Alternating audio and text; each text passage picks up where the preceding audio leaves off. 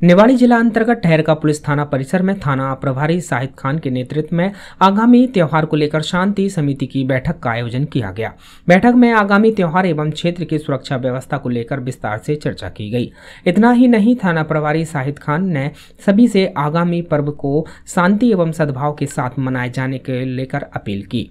साथ ही उन्होंने कहा कि कस्बा एवं क्षेत्र में उद्दंता करने वालों को किसी भी कीमत पर बख्शा नहीं जाएगा।